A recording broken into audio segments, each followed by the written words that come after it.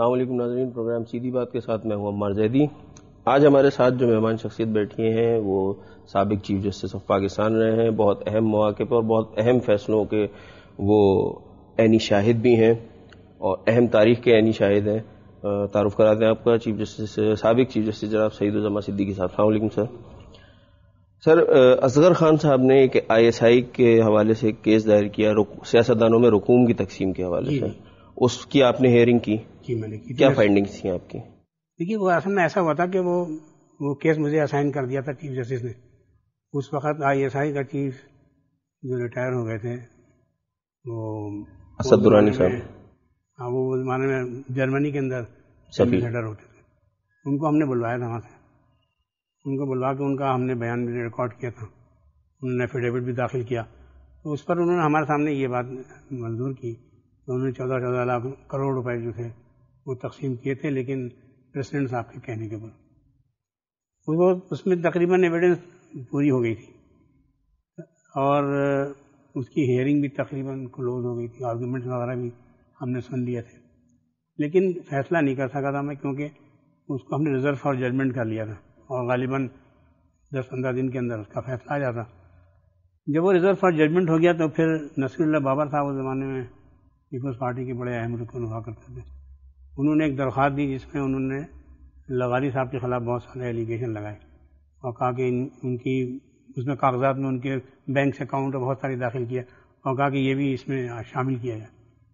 मैंने उनको बुलवाया था नसीर बहर साहब को। चैम्बर में मैंने कहा था, ये तो केस क्लोज हो गया, आप इसमें क्यों कॉम्प्लिकेशन पैदा कर रहे हैं? Let me announce the judgement उसके बाद फिर आप परसों कर लिएगा। वो उन्होंने इंसिस्ट किया कि नहीं, मेरी आप दरख्वास्त रिजेक्ट कर दें या आप उसको कोई ऑर्डर कर दें। तो रूल्स के तहत जब दरख्वास्त आ जाए तो फिर मैं इस बात का पाबंद था तो उसका नोटिस उस आदमी को दिया जाए जिसके खिलाफ वो दरख्वास्त उसका मैंने फारूक लगारी को नोटिस दिया। ज़ाहिर है कि जब उनको नोटिस मिला तो वो तशीफ लाए कोर्ट में और उन्होंने कहा कि मुझे टाइम दिया जाए, मैं इसका जवाब दाखिल करूँगा। जब उन्होंने जवाब दाखिल किया, उस वक्त तक बारह अक्टूबर 1999 में आ गया। तो जब ज़ाहिर है बारह अक्टूबर 99 के बाद बहुत सारे हालात मामला जो थे वैसे अल्तमा में पड़ गए। अच्छा ये बताइए रकूम तकसीम हुई थी? जी बिल्कुल तो मेरे पास रिकॉर्ड मौजूद है। वो तो उनके एफिडेविट मौजूद है। उसमें आईजीआई जो बनाई गई थी जी, जी। उसमें जो पैसे दिए गए थे उसमें बहुत सारे नाम हैं उनके पॉलिटिशियंस के जिनको पैसे दिए गए थे। और उनका कहना यह था आईएसआई के सबक चीफ जस्टिस सबक डीजी का कि यह रकम हमने गुलाम ऐसा खान साहब के कहने पे। तकसीम की अच्छा सर ये बताइए कि आपने कभी पीसीओ के तहत हल्फ लिया? जी मतलब अपॉइंट हुआ था पीसीओ के तहत इसलिए कि मैं पहली दफ़ा जब अपॉइंट हुआ था 1980 में तो उस वक्त तो मुल्क में आइन नहीं था। तो यकीनी बात है। अच्छा 80 में आपने 80 में आपकी अपॉइंटमेंट हुई आपने हल्फ लिया लेकिन 12 अक्टूबर को आपने मना कर दिया। तो इन दोनों पीसीओज में क्या फ़र्क जी बहुत फ़र्क था इसलिए कि मैं जब हम जब हमारा जब अपॉइंटमेंट हुआ उस वक्त मुल्क में आइन था ही नहीं तो इसलिए आइन की ओर देने का कोई सवाल नहीं पैदा होता 1985 में आइन जो है वो रिस्टोर हुआ। और उस वक्त हमें पहली दफ़ा 1985 में मुझे उन्होंने वो दी आइन की। तो हमने आइन के तहत पहली दफ़ा, हालाँकि अपॉइंटमेंट मेरा 1980 का था, लेकिन आइन के तहत हमने पहली दफ़ा 1985 में ओथ ली।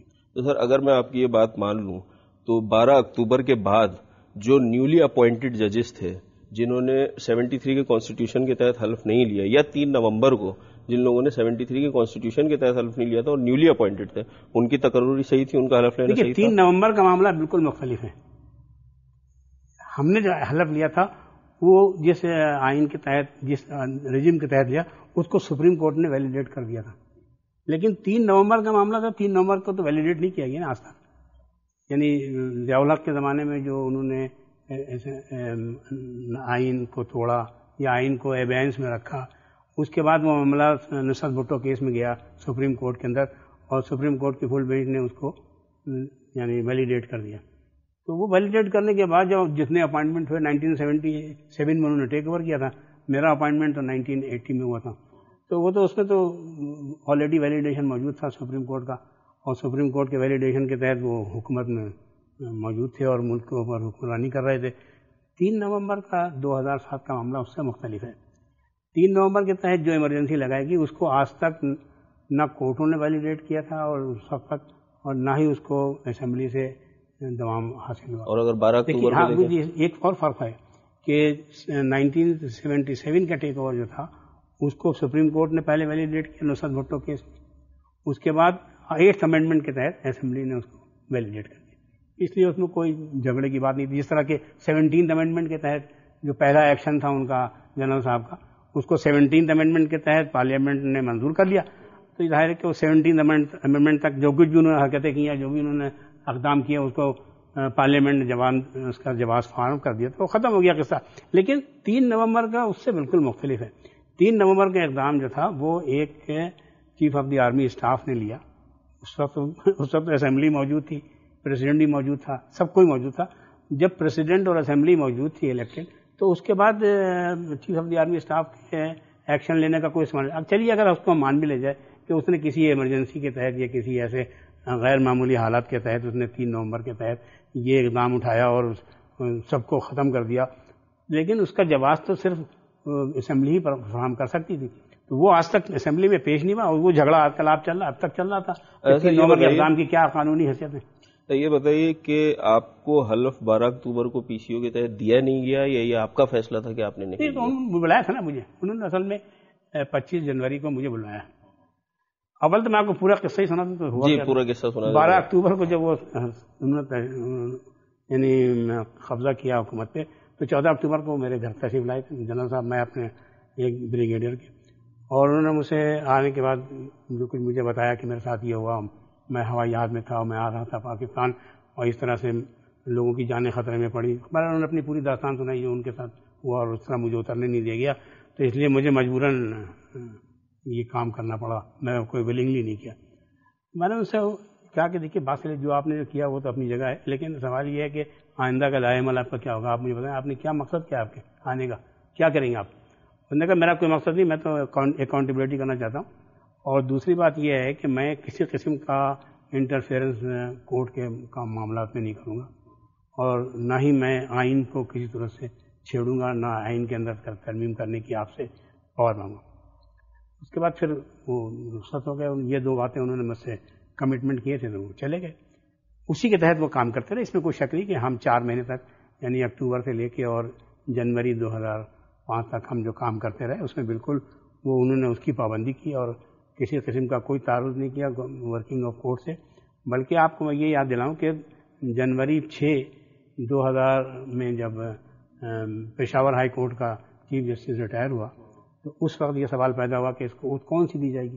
तो मेरे पास उस वक्त के अटॉर्नी उस वक्त के अटॉर्नी जनरल और लॉ मिनिस्टर अजीत मुंशी साहब घर पर तशरीफ़ लाए थे, उन्होंने मुझे कहा कि भाई, वो छः जनवरी को रिटायर हुआ, अब क्या किया जाएगा? मैंने कहा, उससे पूछो जाके अपने जनरल से।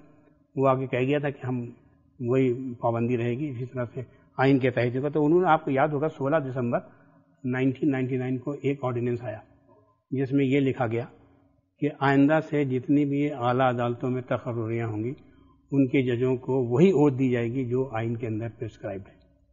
उस ऑर्डिनेंस के तहत 6 जनवरी 2000 को जब पिशावर हाई कोर्ट का चीफ जस्टिस रिटायर हुआ और नया चीफ जस्टिस तो उसको वही ओट दी गई जो आइन में दर्ज है। हालाँकि आइन उस वक्त वो सस्पेंड था। वो वो एक अरेंजमेंट था उनके साथ। सईद सिद्दीकी साहब से गुफ्तु का सिलसिला जारी है। एक ब्रेक प्रोग्राम में शामिल करते हैं।